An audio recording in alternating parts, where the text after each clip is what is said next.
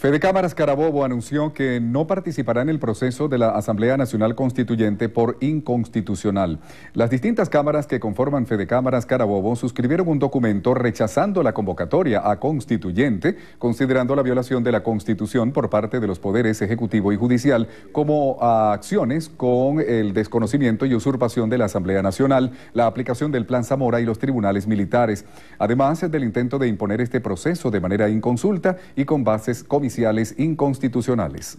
Debemos avalar este, algo inconstitucional eh, en principio. Y segundo, tenemos plena confianza, absoluta confianza en la fuerza de la ciudadanía consciente de que esto es una violación al hilo constitucional que va a hacer todos los mecanismos pertinentes y expuestos en la Constitución de 1999 para impedir que esto, que esto se lleve a cabo.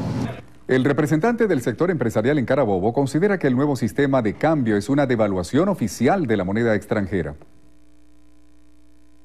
Todos estos pagos que se hacen en moneda americana convertidas en, bolívares al Estado van a ser ahora calculadas al, dólar que está, al precio del dólar que tiene, que tiene esa subasta.